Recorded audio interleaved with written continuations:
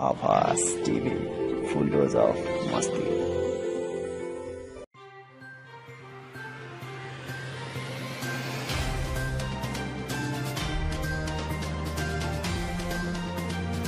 नेपालले पायो एक दिवसीय मान्यता। नेपाली क्रिकेट टोलीले एक दिवसीय मान्यता पाएको छ। आदरणीय दर्शक महानुभावहरू विश्वकप क्रिकेट छनौट खेल अन्तर्गत बिहिबार भएको प्ले अफ म्याचमा ओपुवा निग्नीलाई छ विकेटले हराएको नेपालले एक दिवसीय मान्यता पाएको छ। जिम्बावेको हरारे क्रिकेट मैदानमा सम्पन्न भएको खेलमा ओपुवा निगिनलाई एक सय चौध रनमा रोकेपछि नेपालले एक सय बैसठी बल खेल्नु अगावै तेइस ओभरमा सजिलै विजय प्राप्त गरेको हो। त्यस्तै आजै भएको अर्को खेलमा नेदरल्यान्ड्सले हङकङलाई हराएसँगै नेपालले अन्तिम खेल अगावै एक दिवसीय मान्यता पाएको हो। चार वर्षका लागि प्राप्त हुने एक दिवसीय मान्यताले टिमको एक्सपोजर बढ्ने र आइसिसीबाट प्राप्त हुने अनुदान पनि वृद्धि हुने भएको छ। अब नेपालले नेदरल्यान्डसँग सातौँ स्थानका लागि खेल्नेछ। आइसिसी विश्व क्रिकेट लिग च्याम्पियनसिपको विजेता भएकाले नेदरल्यान्ड्सलाई एक दिवसीय मान्यता दिइएको छ। एसोसिएट राष्ट्र हङकङ र पोपुवा न्युगिनीले भने नवौँ र दसौँ स्थानका लागि खेल्नेछन्। जारी प्रतियोगिताबाट दुई एसोसिएट टोली स्कटल्यान्ड र युएले सुपर सिक्समा पुगेर एक दिवसीय मान्यता प्राप्त गरिसकेका छन्। अब अर्को प्रसङ्ग नेपालले एक दिवसीय मान्यता पाए के हुन्छ नेपालका लागि फाइदा? एक दिवसीय मान्यता पाउनु भनेको नेपाल जस्तो देशका लागि क्रिकेटमा निकै ठुलो फड्को मार्नु हुनेछ। अन्तर्राष्ट्रिय क्रिकेट परिषद आइसिसीले वार्षिक सातदेखि आठ करोड रुपियाँ बजेट छुट्याउनेछ अब नेपालका लागि जसले स्तरीय प्रशिक्षण अभ्यास भ्रमण खेल भत्ता सुविधा नियमित प्रशिक्षणको लागि नेपाललाई आर्थिक सहजता हुनेछ। यस्तै अन्तर्राष्ट्रिय प्रतियोगिता निकै कम खेल्ने नेपालका लागि नियमित रूपमा ठुला प्रतियोगिता विश्व cricket league championship intercontinental cup जस्ता प्रतियोगिता खेल्न पाउनेछ। साथै टेस्ट राष्ट्र सम्मिलित एसिया कप जस्तो ठुलो प्रतियोगिता समेत नेपालले खेल्न पाउनेछ।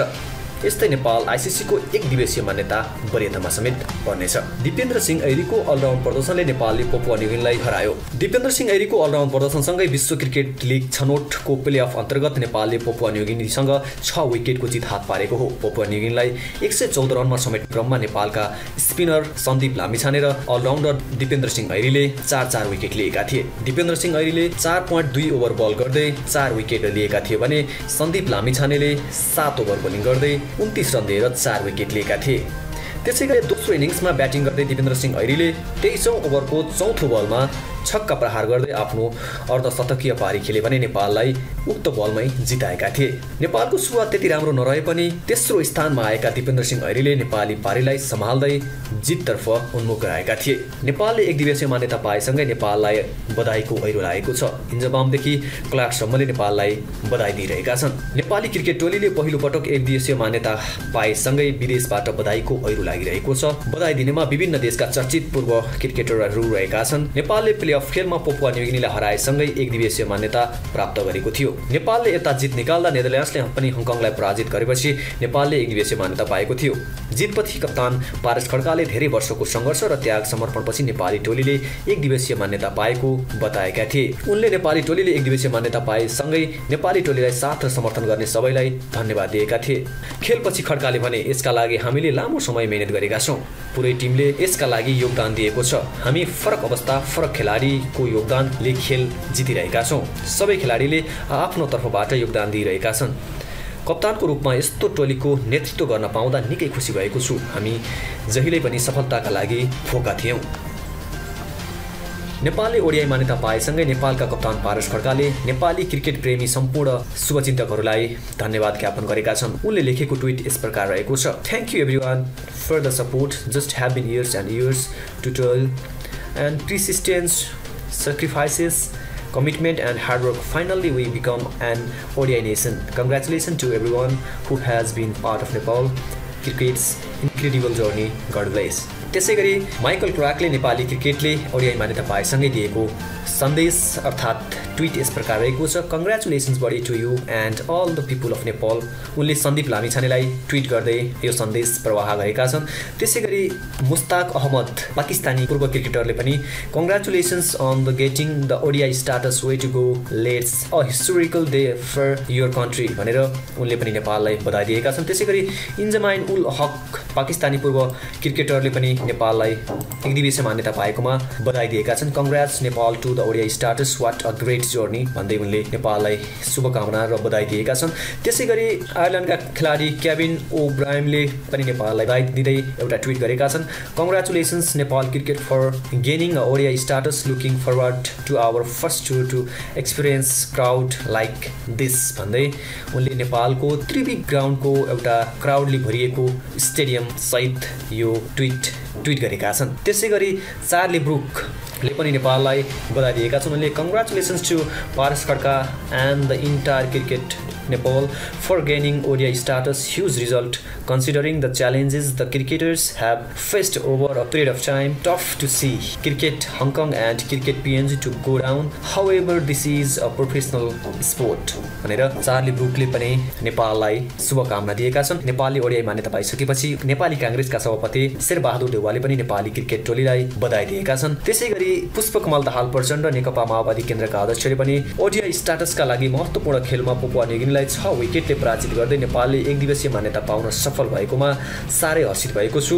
नेपाललाई खेलकुदको क्षेत्रमा विश्व सामु चिनाउन नेपाली क्रिकेट टोलीले खेलेको भूमिका निकै प्रशंसनीय छ। यो ठुलो सफलता हासिल गर्न मेहनत गर्ने नेपाली क्रिकेट टिमलाई हार्दिक बधाई तथा प्रगतिको कामना गर्दछु भन्दै पुष्पकमल भट्टराईले हाल प्रचण्डले पनि नेपाली क्रिकेट टोलीलाई फेसबुक मार्फत तथा ट्विटर मार्फत ट्विट गरेर शुभकामना सन्देश दिएका छन्।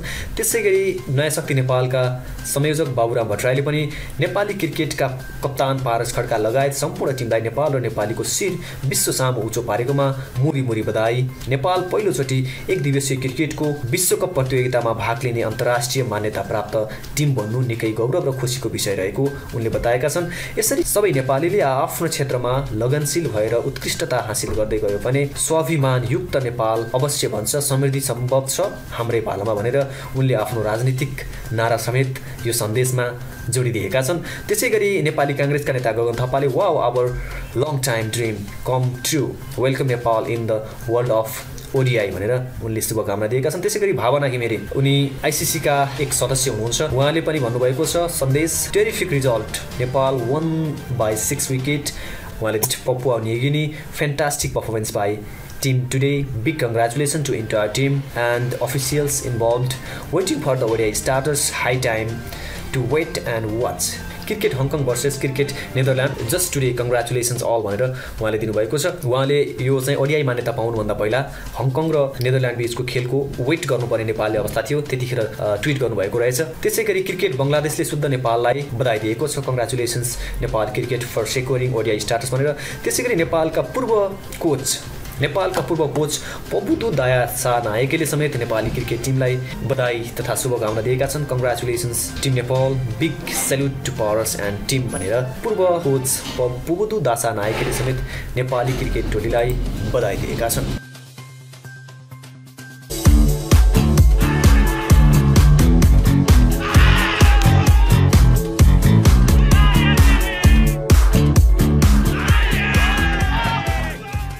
It's massive. This is something we have worked for a very long time. Uh, as a team, we've been pushing ourselves, and we're very glad that we're winning games through different situations. Players are standing up, and everyone's contributing. So, as a, as a captain, I'm very very happy to lead such amazing bunch of boys. Um, um, we've always been hungry uh, to do well. So, I mean, come this tournament, yes, we didn't make it to the Super Six, but still, there's a lot to play for, and hopefully, if we can continue to play the kind of cricket that we have played, we'll be able to produce the results that we want. Our bowlers really set it up, starting with uh, Sompal and Karan. They were absolutely amazing with the new ball, and then came Basant and Sandeep as usual. He just uh, you know keep takes keeps taking wickets like, and he's been bowling very very well. And Indian came and just cleaned up the tail.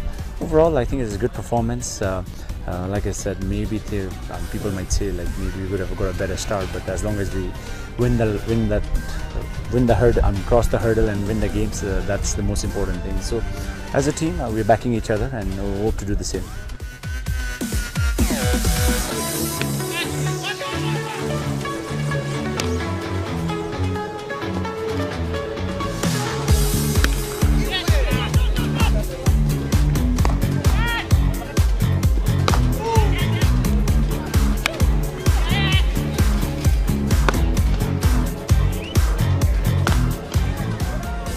धेरै दिनबाट यस्तो के अरे प्रेसरवाला गेममा जिता जिताएँ र धेरै खुसी लाग्यो अब अर्को गेममा चाहिँ Uh, he just wanted to do well, especially we knew that it was a pressure game for us, and he's one of those players who like uh, he always likes the pressure and wants to win the game for him, and he's very happy that he was able to do that today.